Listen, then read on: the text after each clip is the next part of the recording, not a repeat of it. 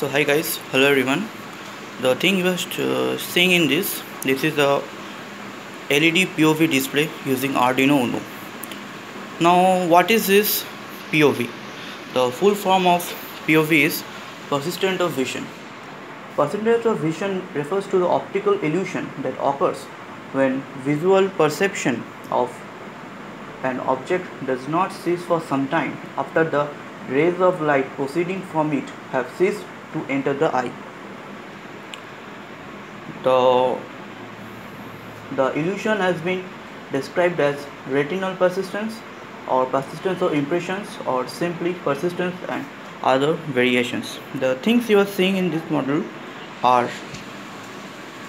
5 LEDs, 1 Vero board, one 9 volt battery, one Arduino Uno, you can also refer to as a bare bone, uh, one DC motor and uh, this is a holder for holding the motor. So now let us come to the circuit diagram of this LED POV display. See they were we are used the first LED is connected to D2 then D3 D4 D5 and D6 in the model the first LED the is connected to digital pin 2 of the Arduino Uno and the last one to digital pin 6 of the Arduino Uno.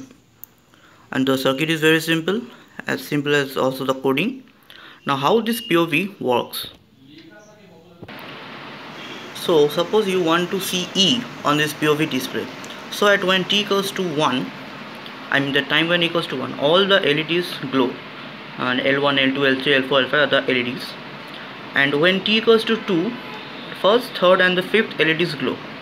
Similarly when t equals to 3 first third and fifth LEDs glow when these glowing superpose positions over one another, we get E on the POV, um, I mean the LED POV display.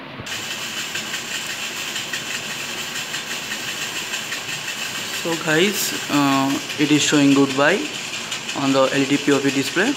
Thank you for watching this video.